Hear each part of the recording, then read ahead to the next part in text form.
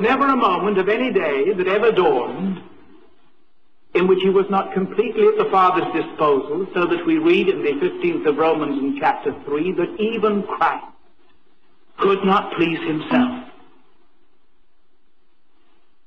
Then how in this wonderful life could there have been one hour of greater significance than another? The hour is come. Was there then in the life of Jesus Christ one hour more significant than another? There was never a moment when there wasn't the complete, unsullied, unfoiled, unblemished expression of the will of his Father in terms of his yielded humanity. And yet this hour was the hour to which he lived.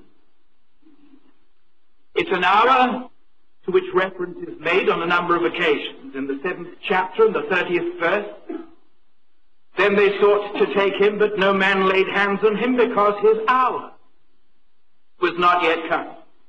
In the 20th verse of the 8th chapter, these words spake Jesus in the treasury as he taught in the temple, and no man laid hands on him, for his hour was not yet come. In the 13th chapter and the first verse, before the feast of the Passover, when Jesus knew that his hour was come. In the first verse of the 17th chapter, these words spake Jesus and lifted up his eyes to heaven and said, Father, the hour is come.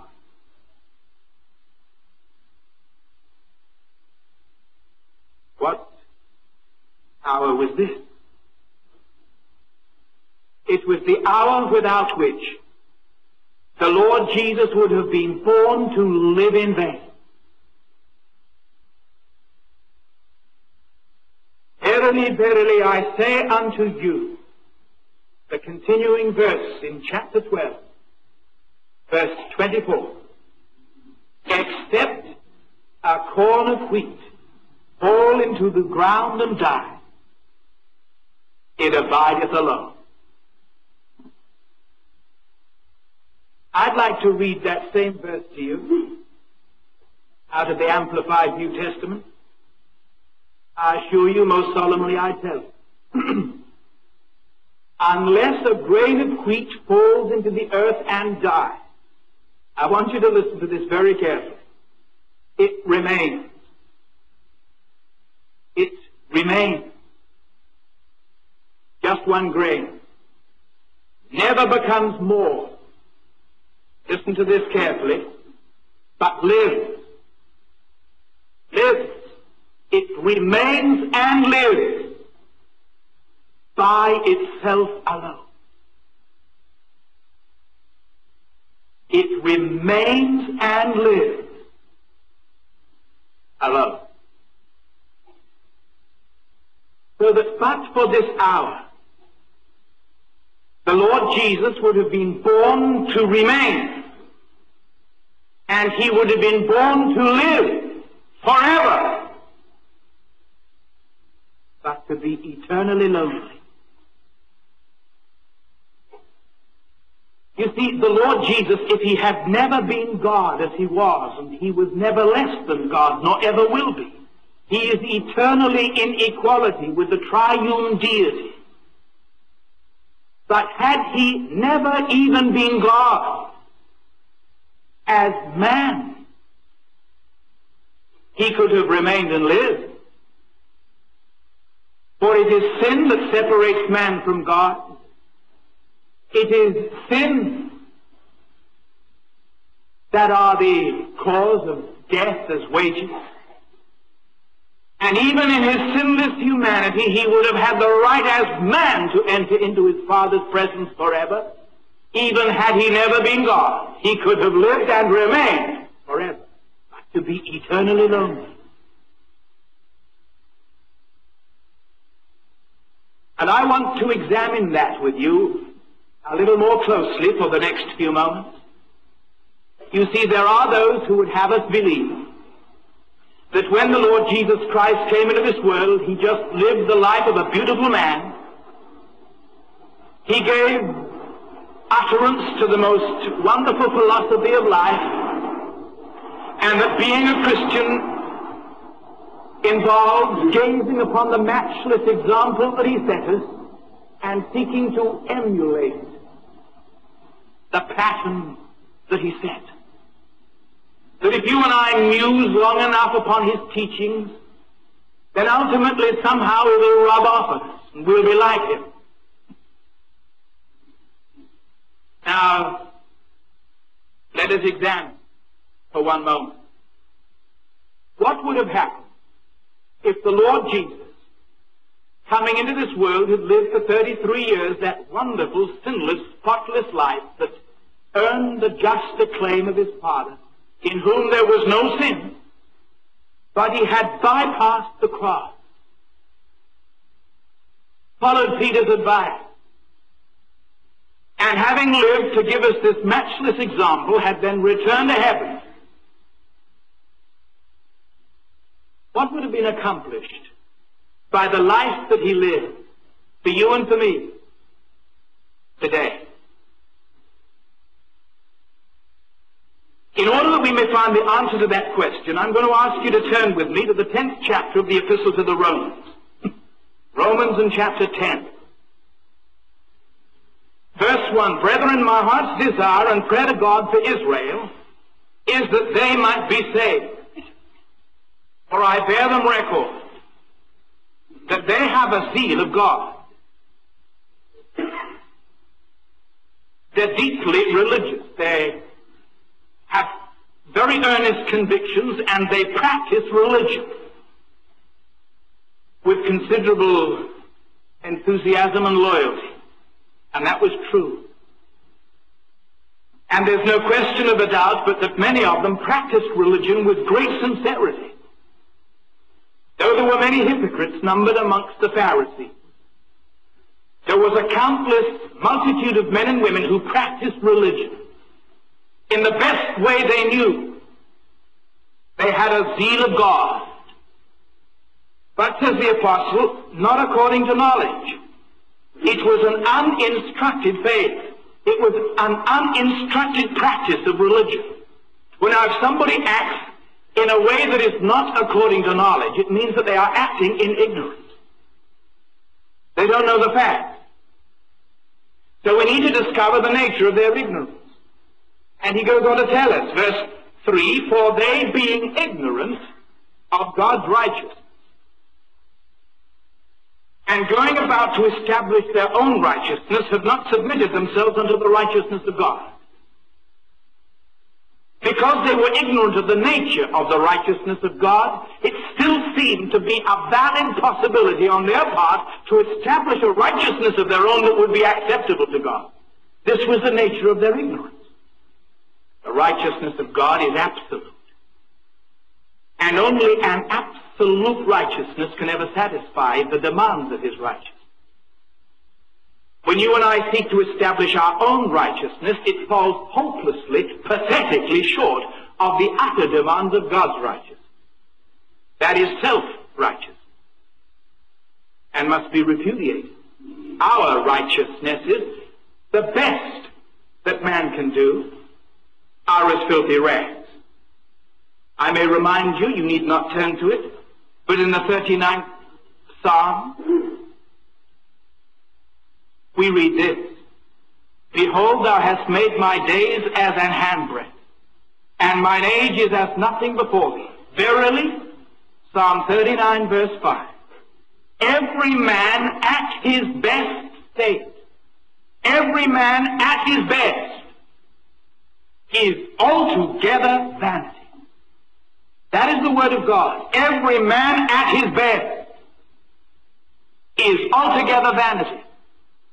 Hopelessly, pathetically inadequate in the light of the demands of a righteousness that is absolute as God himself. Then the fourth verse of the tenth chapter of the Epistle to the Romans goes on to say this, For Christ is the end of the law for righteousness. Christ himself is the only other man who ever walked this earth before the first man fell into sin, whom the law could not accuse. In colloquial language, he was the last word in righteousness. He was everything that the demands of God's righteousness could make upon a man in utter consummation. He was without sin. Sin is the transgression of the law. Whatsoever is not of faith is sin.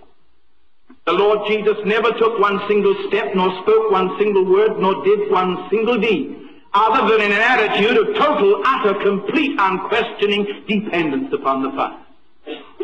There was in his person the complete fulfillment of all that the law of righteousness that had been penned by his own divine finger upon tables of stone. This found its full fulfillment in him. So we may discover this fact that the righteousness demanded by the law, God's righteousness, can be totally equated with the righteousness of the life of the Lord Jesus. Whether it be the righteousness demanded by the law or whether it be the righteousness that was demonstrated by his life, both of these righteousnesses were absolute. If I therefore want to know what the life that the Lord Jesus Christ lived 1900 years ago can do for you and for me now, all I need to ask myself through the Word of God is simply this. What can the righteousness demanded by the Lord do for you and for me now? For the righteousness demonstrated by his life may be equated with the righteousness demanded by the law.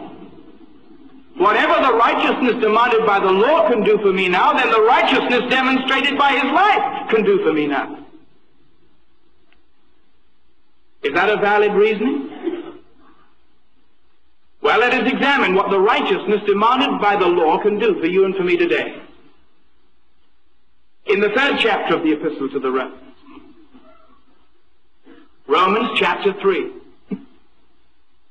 and verse 19. Now we know that what things soever the law saith, it saith to them who are under the law. Imagine here's a man or a woman who looks up into the face of God and says, I demand, I ought.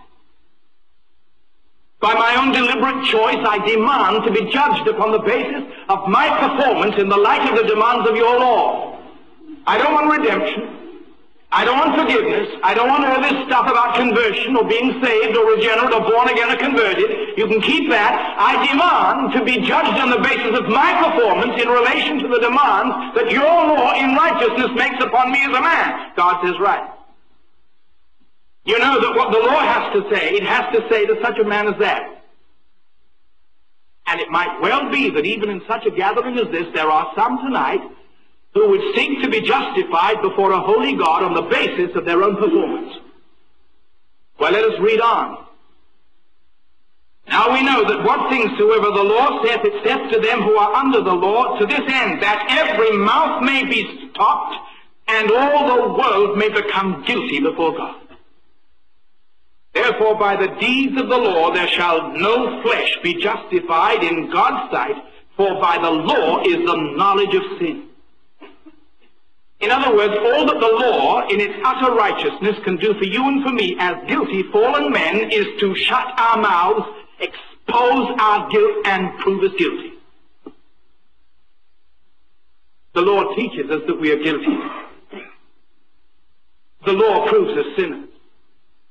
The law stops our mouths and wipes the boast from our lips, exposes us in all our desperate depravity and need. The law is our schoolmaster to bring us to Christ. The prophet, the priest, and the king. The Redeemer, Jesus, Savior.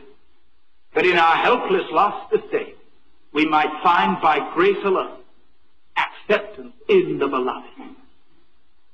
Justified by faith.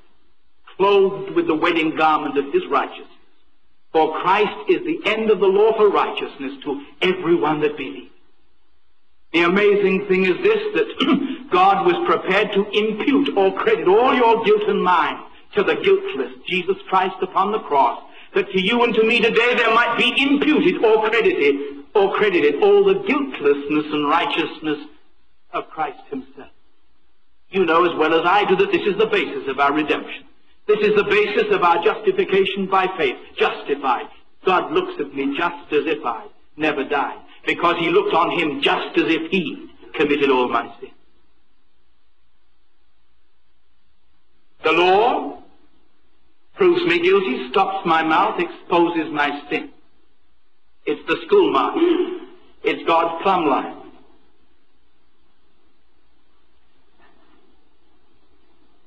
But the life the Lord Jesus lived demonstrated the righteousness demanded by the law. If in the depravity of my heart, because of what is called the flesh, which weakens the law, I cannot submit to the demands of the law, for the carnal mind is enmity against God, is not subject to the law of God, neither indeed can be. Oh, wretched man that I am, as we have heard already so vividly this week. Who shall deliver me from the body of this death that is constantly within me hostile to God my Maker, that repudiates his claims upon me, that loves to transgress his law, and takes the law as a delightful occasion to defy God to his face? Weakened by the flesh finds me only guilty, then the life of Jesus Christ that he lived 1900 years ago that is equated with the righteousness demanded by the law can only prove me guilty.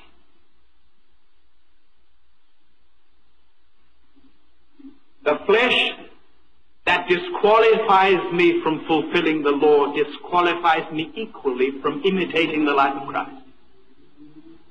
I can no more follow his example than I can submit to the demands of the law.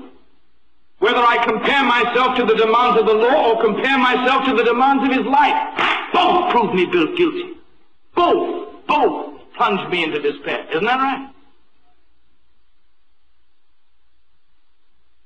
So what can the life that the Lord Jesus Christ lived 1900 years ago do for you and for me today? You may never just have thought of it this way. The life he lived 1900 years ago condemns us as soundly as the law itself. And if Jesus Christ had been born on that first Christmas day only to live that matchless life and go straight back to the Father from whom he'd come, he would have left us only doubly condemned by the law and by his life.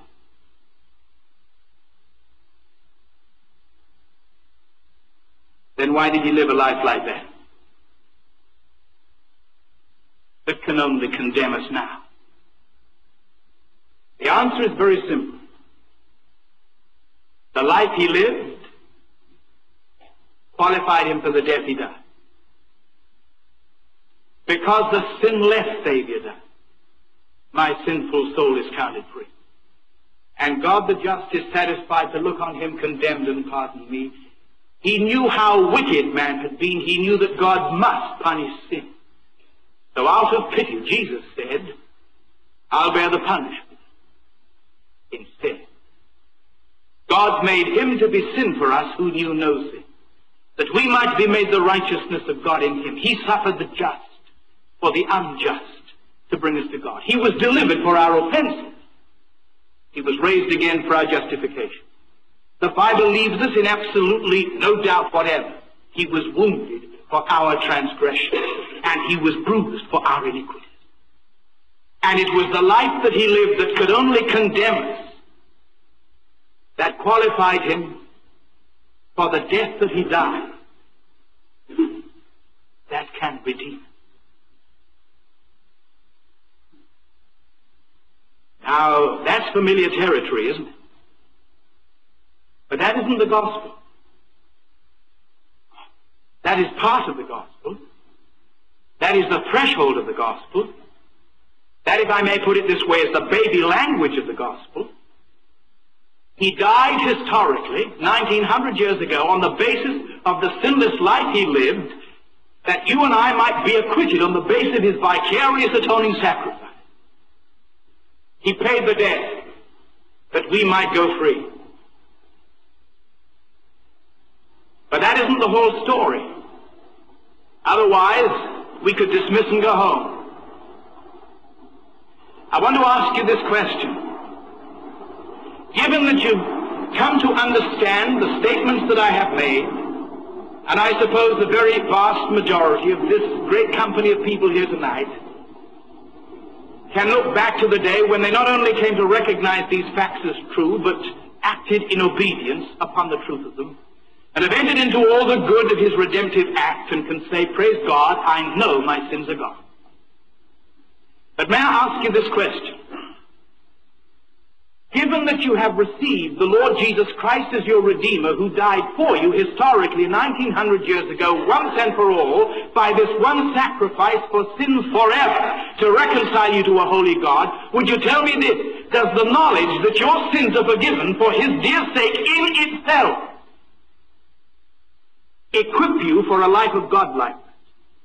Does the knowledge that your sins are forgiven because you have claimed Christ as your Redeemer, you have pleaded His precious blood, you've named His name, you've called upon Him, and you have been accepted by the Father in the Beloved, and your name has been inscribed in the Lamb's Book of Life, with this assurance of your eternal destiny and security in itself impart to you any new capacity to live a different kind of life from the life that you lived before you were redeemed.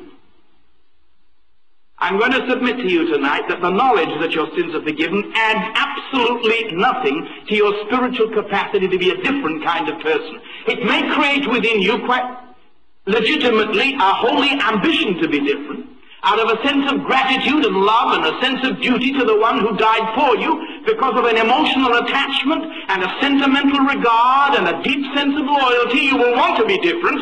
But the knowledge that he died for you and your sins are forgiven because he died for you in itself does not impart to you any new spiritual caliber of living. And if all that Jesus Christ did when he came to this world 1900 years ago was to live that sinless life, to qualify him for that redeeming death, and then go straight back to heaven and simply wait till you got there, that wouldn't be much of a salvation. It would be a salvation that made you fit for heaven and left you hopelessly inadequate for earth. And yet all too often this is the gospel that is preached. Come to Jesus and have your sins forgiven. Now roll up your sleeves and show him how you love.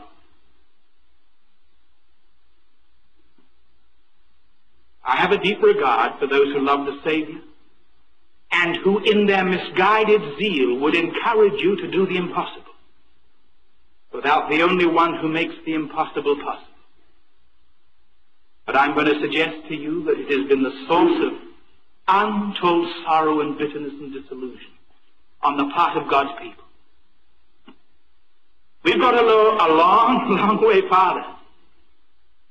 You see, if when we were enemies, we were reconciled to God by the death of His Son, the historical fact, much more, here is the superlative of our faith. This is the dynamic that makes the Christian life a working proposition. If when we were enemies, we were reconciled to God by the death of his son, much more being reconciled, we shall be, as a continuing process, saved by his life. So we have to add a second statement. The first is the life that he lived qualified him for the death that he died. But here is the second. The death that he died qualifies you to receive the life that he lived. That's the genius of the gospel. This is what put, this is what puts heart into it. The life that he lived qualified him for the death that he died. But the death that he died qualifies you as a forgiven, redeemed sinner, acquitted on a holy basis to become the recipient again, now in the present tense, of the life that he lived then, 1900 years ago. So we discover that the life that he lived then can only condemn him. But isn't this thrilling? It's the life that he lives now in you that saves you. And the Christian life is the life that he lived then. Live now by him in you because he is the only person capable of living that kind of life. This is the good news of the gospel. Faithful is he that calleth you. Come unto me. He'll do it. He is himself the dynamic of every demand he ever makes upon the redeemed sinner. It is God that worketh in you both to will and to do of his good pleasure, Christ in you, the hope of glory, the only hope. Christ liveth in me, the source of all his own divine activity and the origin of his own image. This was his hour. For except a grain of wheat fall into the ground and die, it remains and it lives on and on and on forever, eternally lonely. But what happens when a grain of wheat goes into the ground and dies? Through death there is the release of life. And it isn't long before a new corn is fashioning. And beneath blue skies and the warm rays of the sun, the golden swaying field of a ripened harvest. Every golden field of corn is a graveyard, life bursting through from death. And in that new ripening ear of corn, 30, 60, a hundredfold, the life, the same life, the life germ there. Life has been imparted into the heart of every new grain through the death of the original. That's why the Lord Jesus died. He said, I am come that you might have life. This is what baffled the disciples, of course, for the three years in which the Lord Jesus taught them. They just couldn't grasp it. Why should he stubbornly set his face like a flint to go to Jerusalem? Why stick your neck out? Why deliberately go into the lion's den? They just couldn't see the point until after that appearance of the Lord Jesus, subsequent to his resurrection, he showed them his hands and his feet. And he began to unfold the scriptures in such a way that at last their understandings were enlightened. Now he says you're going to see the point of it all. It left you baffled and bewildered, disillusioned and afraid. Now, you tarry in the city of Jerusalem until you are endued with power from on high. And as a result of the life I live, which qualified me for the death I have already died, you now are going to be qualified to receive by my indwelling Holy Spirit the very life I lived. So that the things that I did, you will do and greater works than these. Because you are going to be added to my new corporate body on earth and the life that I have lived clothed with the sinless humanity that my Father fashioned for me in the womb of Mary. This new body my Father is going to present to me. A corporate body. Having been with you, I'm going to be in you. I will not leave you comfort. You will receive power from on high. And the power that you will receive from on high will be nothing less than my presence. I will come to you and live in you. And Peter, you're going to become my lips. And John, you're going to become my hands. As members of my new body, each individually added to the other in the corporate whole under my headship, possessing my life, I am going to continue to do and to teach the things that I began to do and to teach in my own humanity, in your humanity. And you know as well as I do that the Acts of the Apostles is the continuation of what Jesus began to do and teach.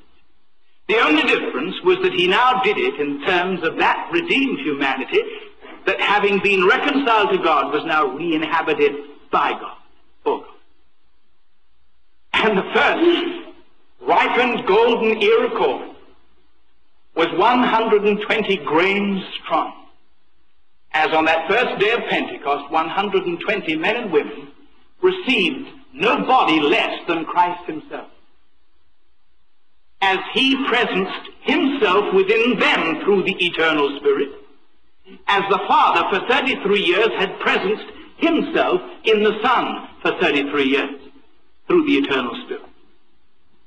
So that as the Father was in the Son, now the Son was in them. That as the Father had sent him, now he was going to send them. That his life in them might go on reproducing all down the ages. The hour is come. Now you can see what a wonderfully rich gospel it is we have to preach. You never invite anybody to come just for its forgiveness. You never invite anybody to come to Jesus just to get to heaven. There's only one valid reason why you and I should ever invite any man, woman, boy, or girl to come to the Lord Jesus, and that is for the Lord Jesus. That he himself might step into their humanity and fill them with himself, so that their bodies might become temples of the living God, so that they might literally, baptized by the Holy Spirit into his body, they might become living members individually of his corporate body in general. And that is why you see every genuinely spiritual church is an evangelizing entity. For the Lord Jesus is the one who came to seek and to save that which is lost, and given right of way in any individual member, however humble, however young. He will be about his ancient business in and through every single living, healthy member of that body. The total church evangelizing a lost world. Jesus Christ in action. Jesus Christ in business.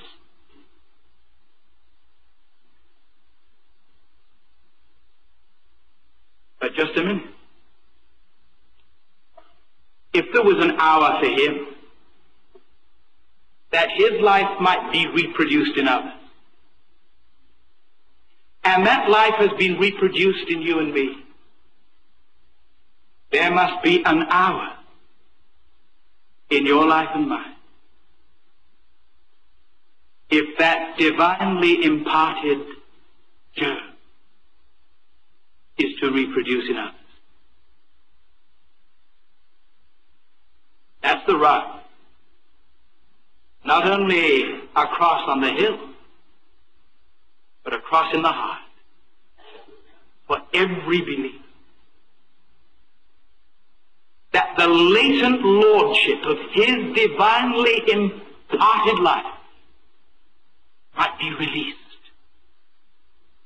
to the world around us. For remember this unless a grain of wheat falls into the earth and dies, it remains.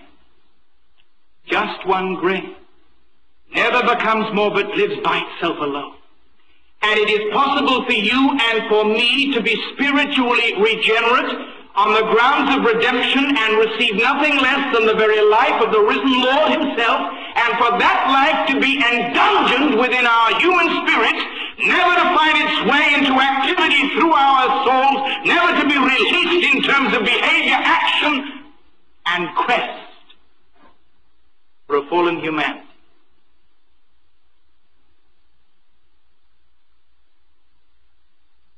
Did you ever hear a grain of wheat thinking? Did you ever listen to a grain of wheat talking to itself? It's quite an interesting experience. And if you just follow me with your imagination for a moment, we'll listen in very carefully. As a grain of wheat looks into the mirror, and this is what it says to itself. I rather like me. I don't know that I've ever seen such a shapely grain of wheat. Now, mind you, it says to itself, I did go to a special series of meetings, and I listened to some men preaching. And you'd never believe the nonsense they talk. Do you know what they said? They said that unless you're prepared to let go of what you are, you will never become what God intended you to be. Now, did you ever hear anything quite so stupid as that? When I look at myself in the mirror and see what I'm capable of, see the caliber of my being, head and shoulders above any other grain of wheat I know. And they tell me that until I'm prepared to let go completely of what I am, disintegrate, just die, I'll never become what I was intended to be. They talked about some indwelling principle of life that could never be released until I was prepared to die. Now, can you imagine anything quite so stupid as that? As if any person had the right to let go of what they wear in the hope that some mystic something would develop through them. Supposing I did die and something did happen, I wouldn't know what it was going to be anyway. Might come out of cabbage. or a spring onion. Or a carrot. No, no, says the grain of wheat. I know what I am, I know what I'm capable of, and I'm going to be what I am and hold on to what I've got, and I'm going to vindicate myself, and I'm going to capitalize upon what I am in the world in which I live. I'm going to make a big impression. Did you ever hear a grain of wheat talking to itself? Latent lordship of a hidden life, only released through death. Nonsense! Every man's got to stand on his own two big feet and stick out his own big chest and carve his way. Even in terms of Christian service, it's what I am that counts. And God should consider himself extremely fortunate that he's got folk like me on his side. Did you ever hear a grain of wheat talking? Do you know what happens to a grain of wheat like that? It remains. It does. Alone. And the longer it insists, insists on being itself and refusing to die, the tougher it gets, the harder its heart, the thicker its skin, and the more difficult it becomes to release the life that's in. I was in Santa Fe just a few weeks ago, a few days ago. And I visited the museum there, and the custodian explained that certain cobs of corn had been found over 800 years ago, and other seeds in some of the Indian graves. And he said every year they take some of these seeds, hundreds of years old, and plant them, and they grow. Mustn't that be a surprise to them? Can you imagine being, being a seed or a grain of corn for several hundred years and then suddenly discovering that you never became what you were intended to be? Can you imagine that? Must be a wonderful surprise. And, and can you imagine this grain of wheat after 10, 15, 20, 30 years of vindicating itself and being itself, justifying itself, capitalizing in its own ability? Suddenly it looks back over the past and finds there's nothing much to show for it anyway looks at its face again in the mirror and it's become wrinkled and tough and hard. And it has second thoughts about those stupid preachers. Maybe they were right. Maybe I was fooled enough to be overpersuaded by myself or by my friends. Maybe there is a principle of life that would give me some real reason for being here that's never been released. Anyway, it's too late to hope for much, there's nothing to lose now. Maybe there's everything to gain. And so at last that little grain of wheat decides to fall into the ground and die. And the moisture begins to attack that tough, hard skin and break into that toughened, hardened heart. And strange things happen. They do. There's a sort of tickly feeling around the back. And when the grain of wheat looks round, it's got a tail. Extraordinary thing. I've been a grain of wheat for 20 years, never had a tail. Who would have believed that? But what do you do with it when you've got it anyway? Should it go that way or upwards or downwards? It's a bit curly at the moment. Maybe it needs straightening out. And you know, while it's perplexed and baffled at this spontaneous expression of life that it never knew it possessed, it suddenly discovers that there is a principle in action that is already shaping its ends. That a latent lordship is already being released because it has been prepared to die. And that little taproot begins to burrow its way down. And it's hardly got over the shock before there's a tickly feeling up top, and it's got another tail. And this is really baffling. Because this is obviously in the wrong place. Probably needs surgery. and what do you do with this? But it discovers just as surely as the root goes down, the shoot goes up. Controlled by an unseen lordship that has been buried, unrecognized, unreleased, unrealized for 20 years. Listen, This isn't just a story. This isn't just a parable. Men and women, I'm talking about you. Some of you men and women have been converted 10, 20, 30. Some of you may even have been preachers for 50 years. And you've never yet discovered the principle of life that was buried within you in the day that you were spiritually regenerate. It's possible for you and for me in our pig-headed self-esteem, in our very sincerity and zeal in serving God, to endungeon and to imprison the Son of God within our souls and we become the dried up, withered, useless things we are, on the shelf, remaining living. We'll get to heaven, for the life has been imparted by the divine Spirit, but we're quenching and frustrating and grieving the Spirit of God, busy being ourselves, when the one thing that the Father wants is for the opportunity for His Son to be Himself.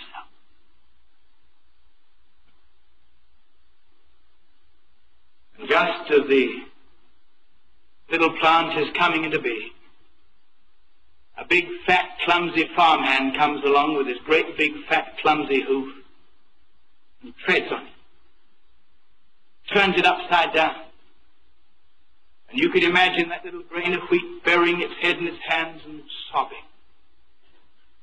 My little world all turned upside down. Look at my circumstance. I knew it couldn't last. It was too good to be true. And do you know, in the midst of its tears, it discovers that the root begins to turn down and the shoot begins to turn up. It discovers that this principle of life now released knows exactly what to do even when its little world and all its human circumstances are turned upside down. This is the rest which is prepared for the children of God. Nothing, nothing can confound you. For there is implanted within your soul the life of the one who is never less than adequate at any time for any situation. No matter what threat may come your way, no matter how dark the clouds on every horizon, no matter how fierce the storm that may break upon your head, you can be sitting in a dungeon with Silas, in the dirtiest part of the dungeon, and you can have such a praise meeting that you keep the other prisoners awake at night. And you can imagine the sort of conversation these two had. Paul looking to Silas, what do you think God has in store for us? Sometimes he puts us in the Grand Hotel, but he must have something very, very special for us to stick us in a place like this. I say, Silas, what do you think God has in mind? And Silas has hadn't a clue, Paul. But it's always going to be something exciting because you know we've learned. We've learned that God never puts us anywhere at any time but to do something thrilling. Things don't look too good and they don't smell too well. But I say, Paul, isn't this a thrilling life? To know that every day that dawns is a sheer adventure of God unfolding his eternal purpose. And they've burst into song, and just as they're singing together, suddenly Silas says, Paul, look out! And they've ducked, and there's an earthquake thrown in. and you know, when the dust has settled and they rub their eyes, There's a man waiting in the inquiry room.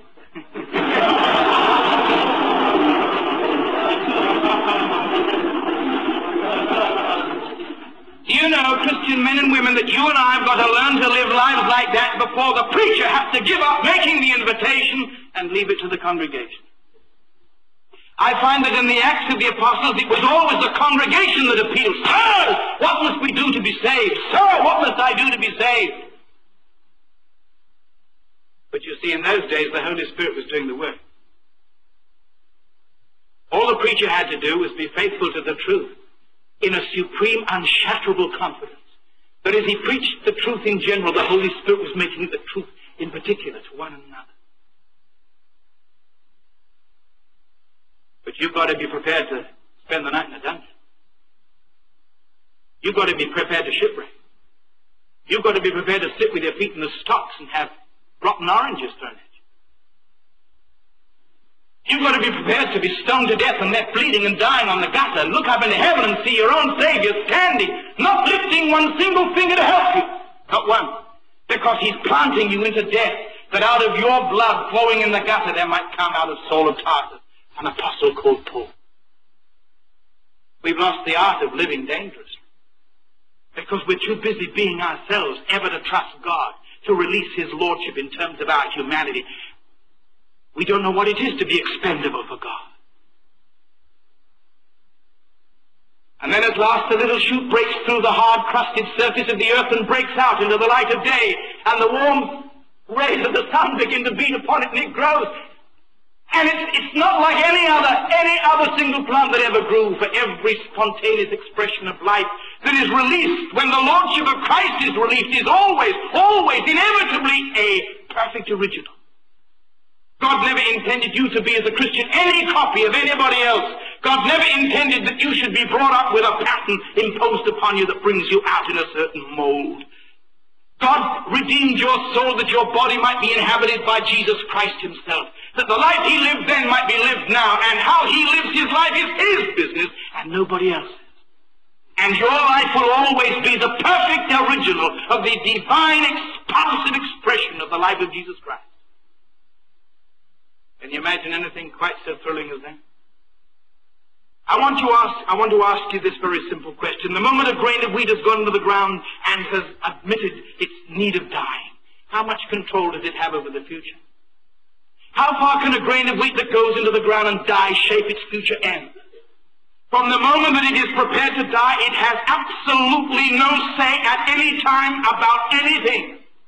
The life within controls its destiny. And I want you to know this, so long as you intend to plan your own program,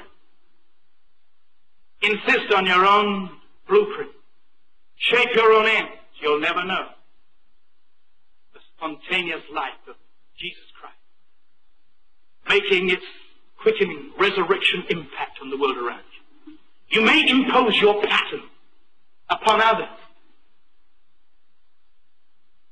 but you'll never reproduce life. For said Jesus, the flesh profiteth nothing. However noble the mold in which you may fashion, it is the Spirit that quickens. Only God raises. Only God restores life. I want to tell you this. That as there was an hour for him that his life might be imparted by his divine spirit to your spirit, so there must be an hour for you. And for that young man or young woman on the threshold of life here tonight, I want to tell you this. That every horizon beckons you. Heavy, golden with blessing.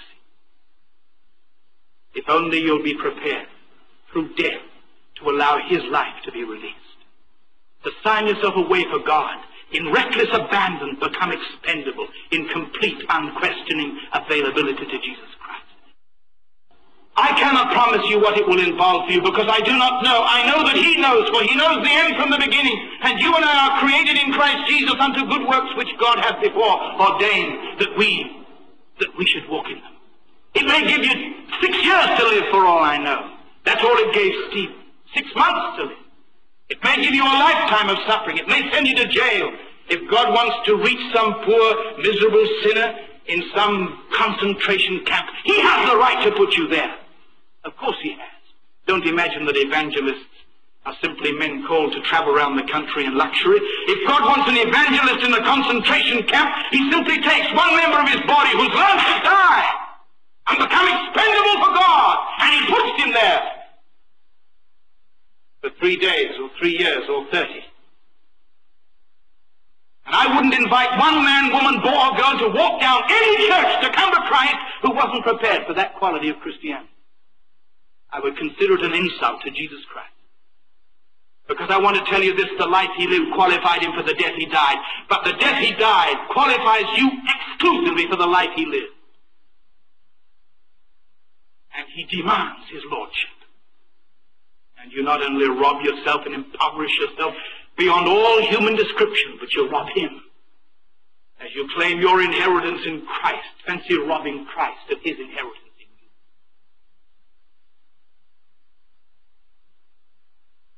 you. This is normal Christianity. This isn't fanaticism. This is the quality of Christianity that evangelize the world in one known gener one, one single generation. They didn't have jet planes. They had donkeys. They didn't have electronics. They didn't have loudspeaker systems. They were just flesh and blood inhabited by God.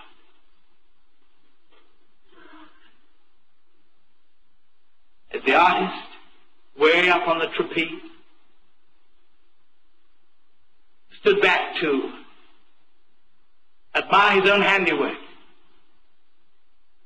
He'd been painting the most beautiful picture on the underside of the cathedral dome.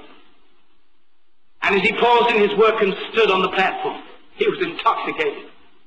As he drank in the sheer genius of his own handiwork. Beautiful. Beautiful.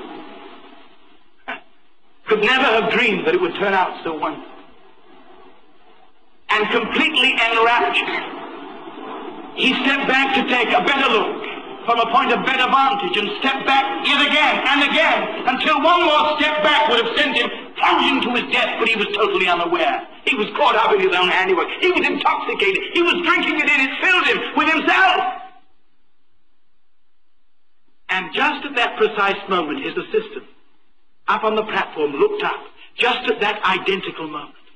In one split second, he grasped the situation. One step and he would plunge to his death. And picking up a bucket of paint, he threw it against the ceiling. And the artist leapt forward in a rage. He said, You spoiled my picture! Said his assistant quietly, Yes, I spoiled your picture. But I've saved your life.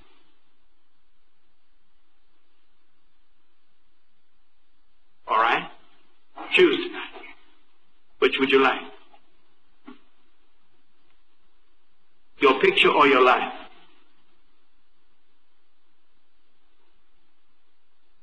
That's your choice.